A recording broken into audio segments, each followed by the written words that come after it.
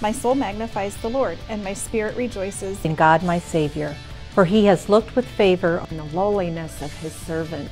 Surely from now on all generations will call me blessed. For the Mighty One has done great things for me, and holy is his name.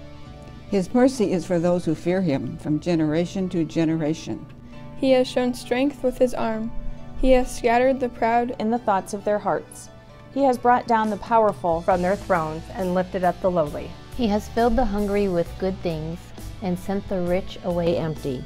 He has helped his servant Israel in remembrance of his mercy, according to the promise he made to our ancestors, to Abraham and his descendants forever.